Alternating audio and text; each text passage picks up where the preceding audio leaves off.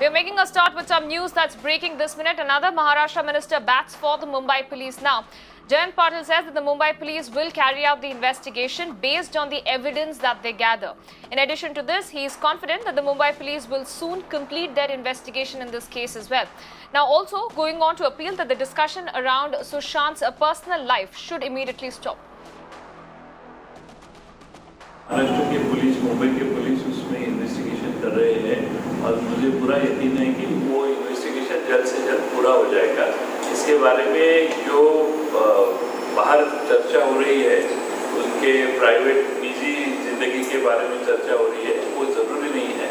उन्होंने जो लिखा है, उन्होंने जो आत्महत्या के वक्त जो भी चीज़ें वहाँ पाई गई है, जो पुरावे, जो एविडेंस मिले हैं मुताबिक पुलिस इन्वेस्टिगेशन करेगी हमें अपेक्षा है कि पुलिस जल्द से जल्द इन्वेस्टिगेशन पूरा करेगी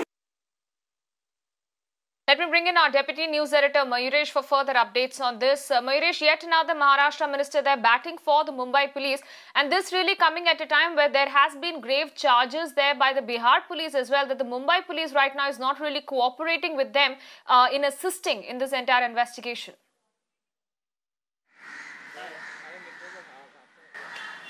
See, that's a charge by the Bihar police. But what about uh, the allegations leveled by the Sushant Singh's father that Bihar police is basically, uh, uh, uh, uh, I beg your pardon, the Mumbai police is not conducting the investigation in a proper manner. Even we did try to speak with the Mumbai police about the investigation, about what they have to say when the team of Bihar police is roaming around in the city. They are recording the statement of people. They are meeting the crucial people in this entire case. They are recording their statement. They are visiting the banks for the financial transaction.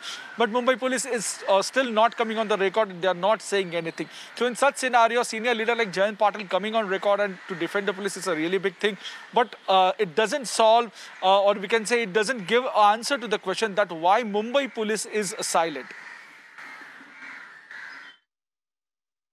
Absolutely. Mayuresh, request you to stay with us at this point. We're getting more breaking updates coming in.